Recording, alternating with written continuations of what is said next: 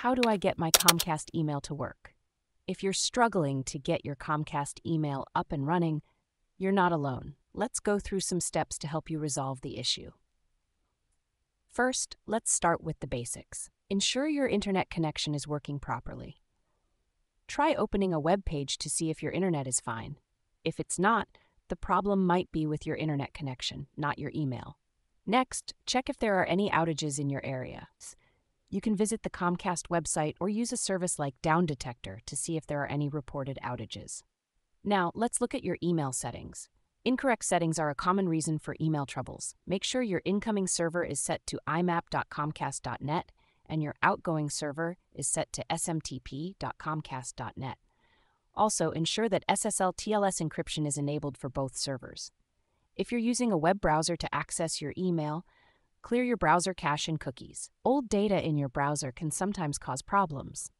Each browser has its own way of doing this, so you might need to search for specific instructions for your browser.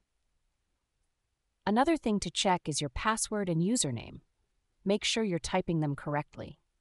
If you're unsure about your password, you can reset it on the Comcast website. If you're still having trouble, try logging into your email using a different browser or device. This can help you figure out if the issue is with your current browser or device. Ensure your device and email apps are up to date older operating systems, or outdated email apps can cause compatibility issues.